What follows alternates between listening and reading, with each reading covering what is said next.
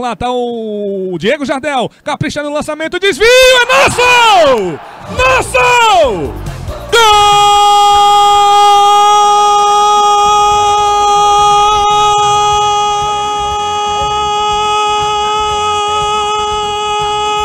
Gol do Havaí! Rômulo!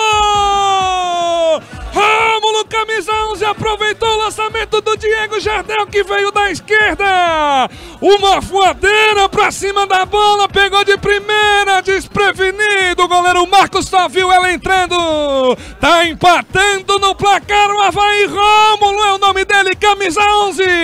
38 minutos do segundo tempo. É o tempo da reação. É nosso, Rômulo. Empata na ressacada. Agora o Havaí tem um. Atlético Goianiense também um.